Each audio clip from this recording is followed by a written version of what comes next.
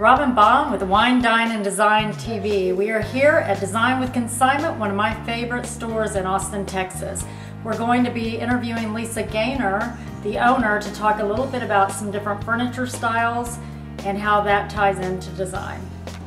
Hello, welcome to Design with Consignment. I'm Lisa Gaynor.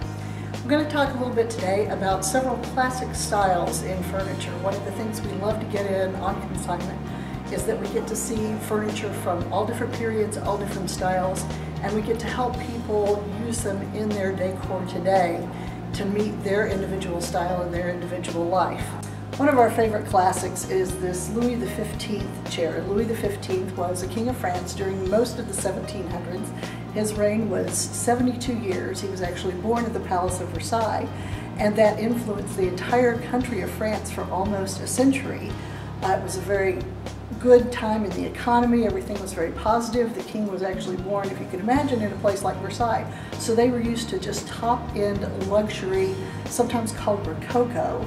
Furniture was made by cabinet makers, and cabinet makers in that time were actually revered in society, and they came up with just absolutely their best work. This is a wonderful example here. This is a fruitwood frame. Uh, you see the curved design on the arms and then also on the cabriolet leg here.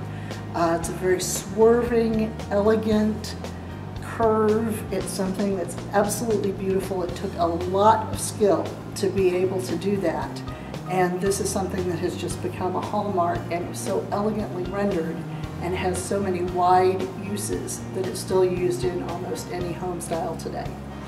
Another classic style is Chippendale. Uh, this was going in roughly at the same time that the Louis XV style was happening in France. Chippendale was the big thing in England.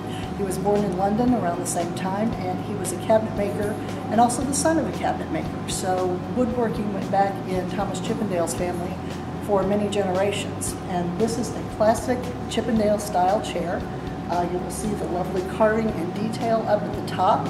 They also had, interestingly enough, this too is known as a cabriolet, leg, but in the Chippendale version, you notice that it's got the claw, looks like an eagle claw over a ball on the foot. This is known as a ball and claw foot.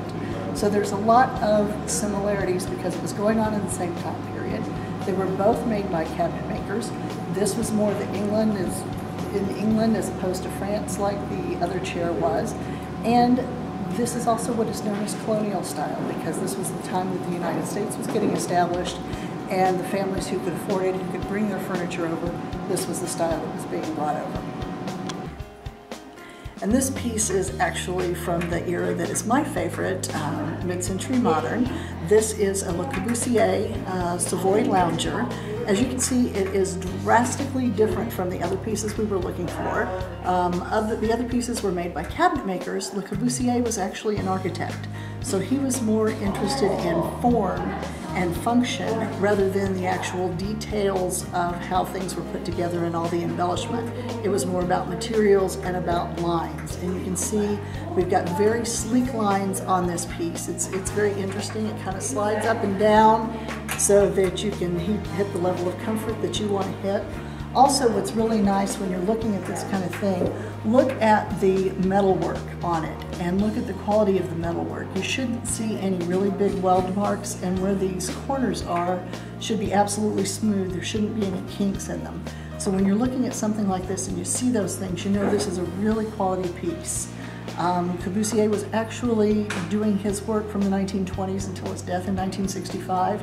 So even though this kind of period is thought of as mid-century modern 50s, 60s, the period actually expands much larger than that. So thank you for visiting Design with Consignment, where you can see the pieces that we've just talked about and many, many, many more in our 10,000 square foot showroom.